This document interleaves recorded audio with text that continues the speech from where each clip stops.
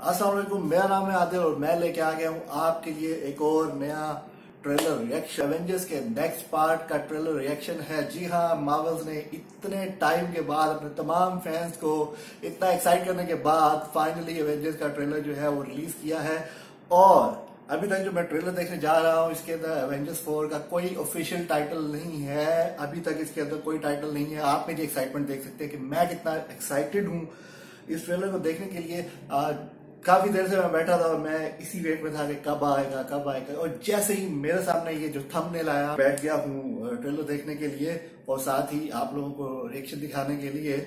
और Marvel kept everything under wraps till now since Avengers Infinity War release और Marvel इस दफ़ा जो है, वो कॉमिक कॉन में भी वो नहीं आए थे। उन्होंने कोई इसके बारे में डिटेल नहीं दी थी। तमाम एक्टर्स से जितने भी शोज़ में वो पार्टिसिपेट कर रहे थे, वो भी कुछ नहीं बता रहे थे। तमाम फैंस को उन्होंने एकदम एक्साइट करके रखा हुआ था। इतना एक्साइट करके रखा हुआ था कि पिछले कुछ टाइम से, पिछले एक हफ़्ते से फ़ैन जो थे, वो काफ़ी ज़्यादा गुस्से में आ गए थे कि क्यों, आखिर क्यों मावल जो है वो ट्रेलर रिलीज़ नहीं कर रहा। तो र्यूमर आया था कुछ दिन पहले कि मार्वल जो है वो वेंसडे को ट्रेलर रिलीज़ करेगा। नहीं हुआ, फिर र्यूमर आया कि फ्राइडे को रिलीज़ करेगा। तो so finally the trailer is here और मैं आपके सामने ट्रेलर रिएक्शन देने जा रहा हूँ। तो देखते हैं इस ट्रेलर में हमारे लिए क्या है। मैं बहुत ज़्यादा एक्साइटेड हूँ। तो let's see what's in the trailer शुरू करते हैं।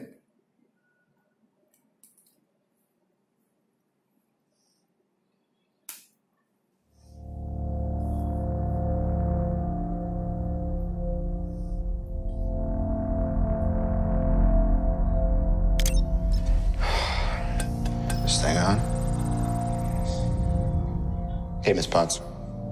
If you find this recording, don't feel bad about this. Part of the journey is the end. Just for the record, being adrift in space with zero promise of rescue is more fun than it sounds. Food and water ran out four days ago. Oxygen will run out tomorrow morning. That'll be it. When I drift off, I will dream about you. It's always you.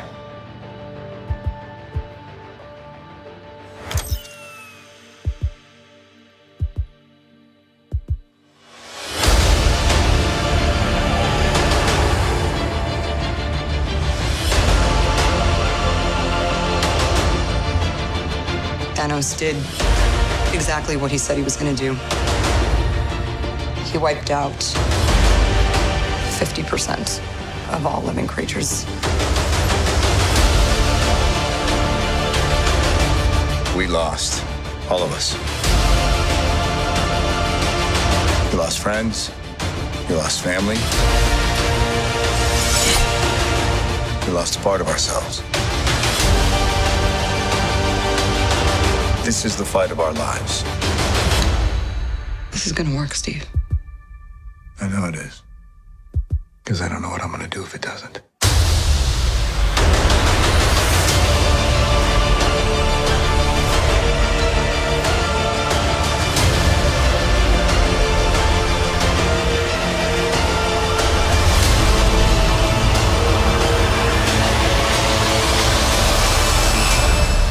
Uh, is anyone home? This is Scott Lang. We met a few years ago at the airport in Germany. Got got really big. Is this an old message? Ant-Man, Ant-Man. I know you know. I know you know that. It's the front door. That's me. Can you buzz me in?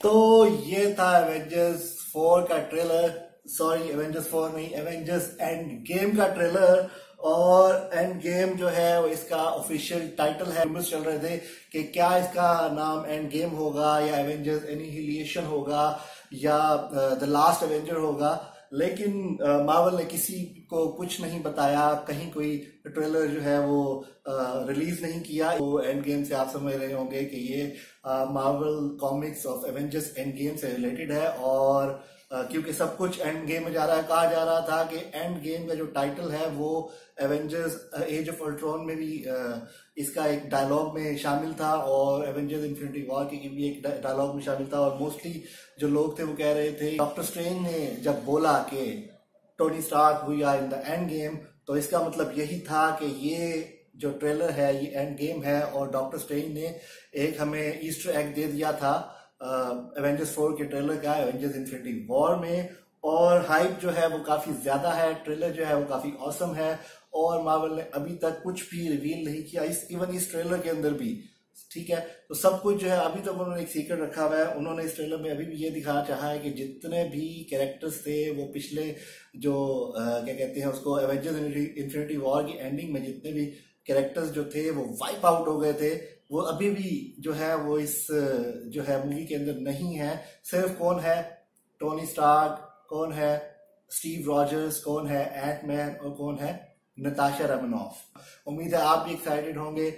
मेरा अगर ये video आपको पसंद आया है तो please इसको like कीजिए। अपने कमेंट्स मेरे कमेंट्स बॉक्स में दीजिए। यहाँ पे क्लिक करके सब्सक्राइब कीजिए। अपना बहुत बहुत ख्याल रखिएगा। अल्लाह हाफिज।